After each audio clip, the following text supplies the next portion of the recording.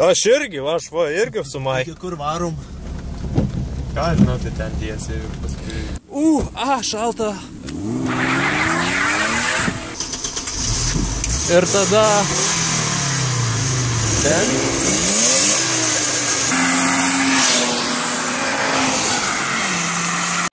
Na sveikutis, ruoškis kelioniai į Kauną.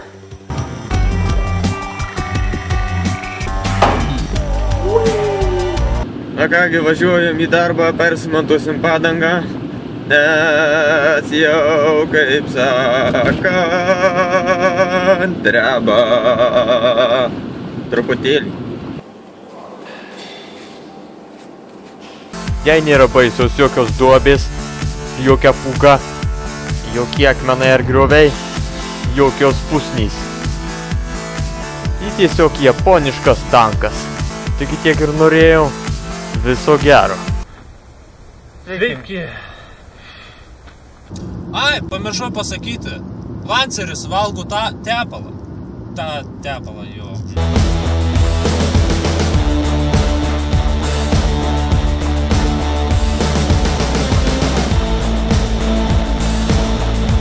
Čia nėra ką pasakot. Ir taip matysit, nes nufilmuosiu ką, ką, ką, ką. Na kągi, važiuojam aprodyti Ferozos. Kaip girdit, labai linksma mašina šitą yra. Ta e, savo bemą iškeičiau į Ferozą ir dar man primokėjau. Tada jis ant to keltuvo visiškai nekilo, nes ten taip supuvę viskas, kad eiktų gult. Abu su 1.6 varikliu, abu su karburatoriais. Na ir kodėlgi mums nepadarius mažos apžvalgėlės.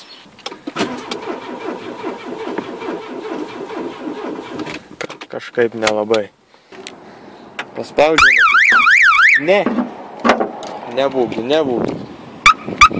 Gerai. Na tai va. Čia spėju, kad būtų koks nors ten, gal vėjas ten eitų ir tada tik... Žvėris. Na ką, kokios naujienos? Pardavėm Nitaną ir išsikeitėm audinę į audinę. Va šitą, A4, biškį daužtą, ant lygių. Na ir kągi pajaminom pitakėlį. Dizeliai 2,5 TDS. Yra pilna klimato kontrolė, kuri kartais veikia. Turim du ziperius. Turim senų garažų raktus, ziperis, šepetas, ražančius. Turėtų viskas būti zeba. Tai dabar kuri kuri pusė, tai ką, nu pasijungim vieną belė kurią kalankę ant belė kurios kalankės. Tai ką, papasakokim, kaip čia pasijungta stiprintuvą. Ir čia, vienas, du, trys, keturi. Ar esat matę, kaip atrodo pečiuko varža klimatronikas ir vienas pirmųjų tokių šustrų, tai ha, ha, pečiuko varža yra štai čia. Let's test this shit. O taip. And that was the last video about this car.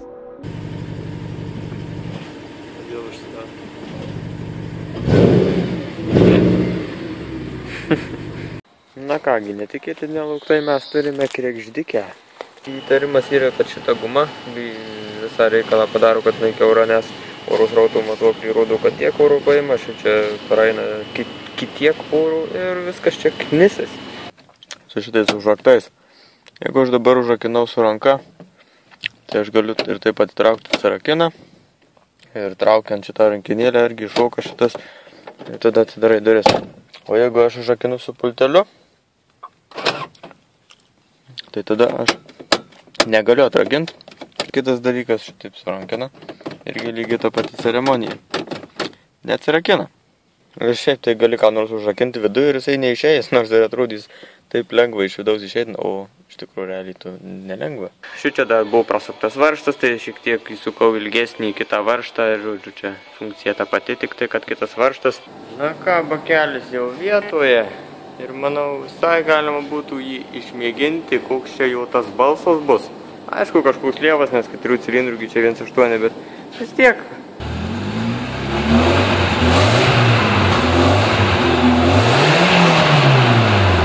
biški juos palankstyti visus, kad, kaip sakant, stipriau jie fiksuotų. Tai aš labai smagiai atsijungiu ABSO fiškę, taip kad ir važinėsiu aš be ABSO. Kaip ekonomiškai važinėti?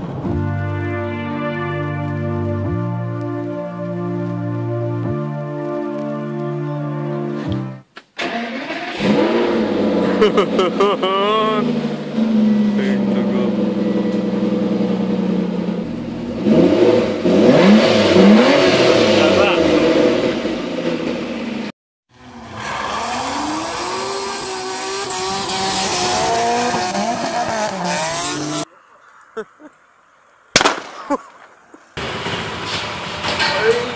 čia nuvarotas galvoju, čia su rankom reikia. Vizija čia tas toks golfas. Jūs tik pažiūrėkit. Viena iš mano svajonių mašinų. Chargeris senas. Eik tu na. Jei pas jūsų va toks va pagrindinis diržas, tai jau jį keist per vėlų. Kažkas galbūt turi problemų su šito peleninė, peleninė kad jinai neužsidaro. Matau, kad čia šitas pipsiukas kuris tą fiksavimą atlieka. Jisai yra kažkodėl tais linkęs. Rezultatas viskas ledas. Dar matote išbėgusie amortizatoriai, kurį reiks keisti. Štai turime vieną, vieno vyrioko projektinę mašiną Fiat Punto, kaip iš čia pava. Jisai su turbo yra originaliai, e, atrodo 1.4 jeigu neklystu. Ir žodžiu, jisai iš pradžių čia dėjau interkulerį, su gyvenę darė, dabar ten sumastė, reikia dėti didesnę turbą ir lelele. Vienas iš nedidelių Fiatų patobulinimų.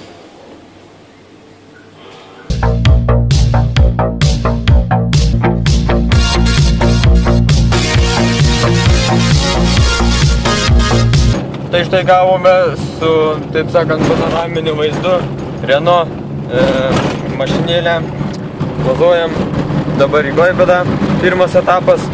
Jeigu viskas puikiai seksis, tada bus antras etapas iš Klaipėdos į Prienus, tiksliau, aš manau, jūsų klausiu, ką aš turėčiau daryti su šia mašina.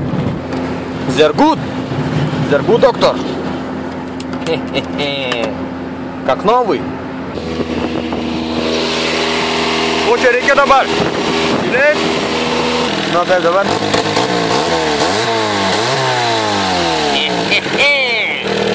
Biški benzus mirta, bet nieko, taip turi būt. Gal, tikiuosi. Kas ten, tas?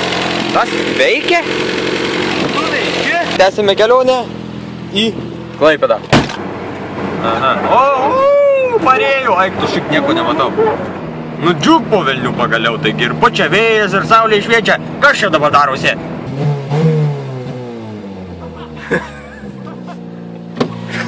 Kas per velnius? Būtent to ir tikėjausi. Gavome puikių pasiūlymų iš jūsų komentarų visokių, ką čia nuveikus. Na, tikiuosi, kas nors iš to išeis. Na, čia biškis spaudimų yra. Nu, radome kanalizacinio vamzdžio, kuris puikiai turėtų tikti. Perfekto. So sexy. Edita Odomaitinė, įdėk dujas. Ne? Šitas geras. Na, Lukai, laukiam bodėl. Gerai, laukiam. Padaryk driftų mašiną, įdėk saugos lankus. Aš labai gerai turbinas išmanau, tai turėtų pridėti, pavyzdžiui, apie 200-300 kW. O, feel the power. Kaip tau čia, Lukai, sekasi, ne vis varsti? Išmetimo, išmetimo darbu. geras, geras.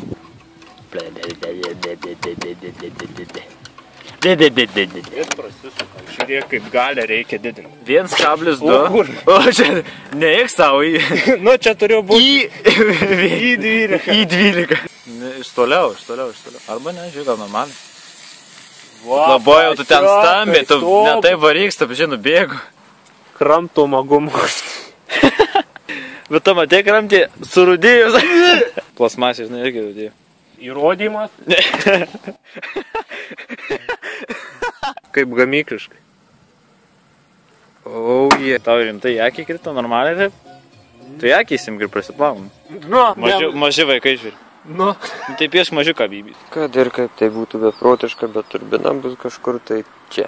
O filtro šitos skylė per didelį, tai mes numarėm į senukus ir pasėmėm kažkokį tai šikanų perėjimą guminį, kuris čia užsimauna labai puikiai, tada šitas čia užsimauna. Tai ką, reikia bandyti ir kurt, manau. Žiūrėt, kas čia bus dabar.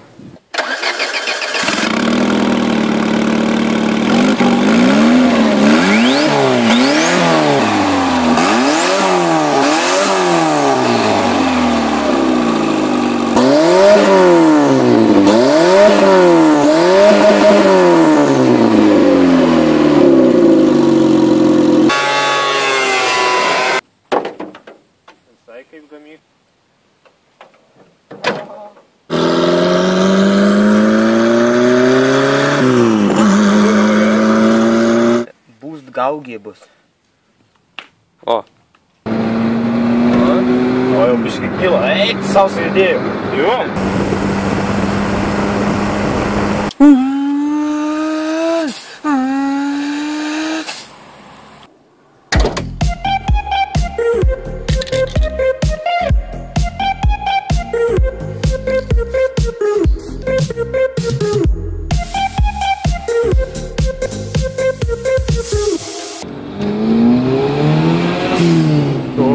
geriau. Zaibys. Į skylutės pataikė, nes kitaip jie tik suluš ir nieko gero nepavyks. Štai prikabintas mūsų sparniuksas. Per video gal ir nieko atrodo. Ką turim? Ogi turim Peugeot. Už 200. Kas puiku. Žiūrėk, kaip vedasi kaip, kaip miško uoga. Dabar pergazuojam. Ir pradeda kalent. Bet nieko, pakalena, pašyla ir, na, bet žodžiu, vis tiek. Dizelis kaip dizelis, viskas normaliai yra.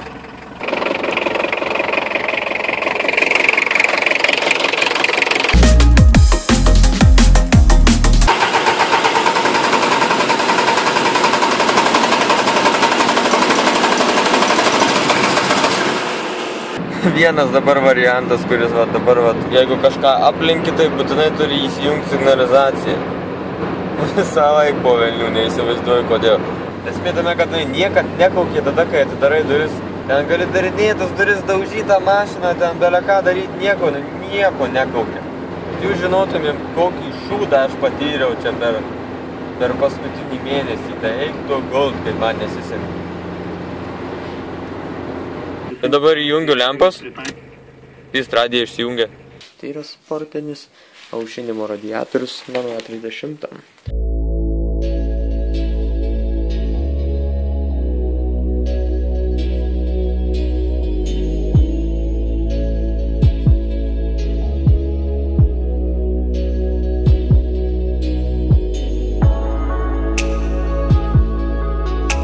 Isn't a pineapple under the sea? Na ką, tai tada. Galiu pasakyti, pažiūrėkit, kaip puikiai filtruoja.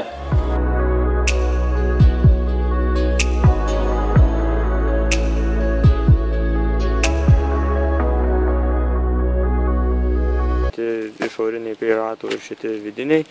Aišku, bus dar ir priekiniai stabdžių diskai irgi aušinami tos pačius. Ir dar vienas sintinukas iš krastos, kurios realiai nebuvo būtinos, na, bet jau tą brangiai kainavo. Naujutėlis kūro bakas. Taigi turim naują 30 dėžę, šešių bėgių. Sporo cits sėdynės. Mes paėmėm jas už 200 eurų. Ir dar aš atidaviau savo paprastas kupinės sėdynės. Tai va, iki gerų jums švenčių.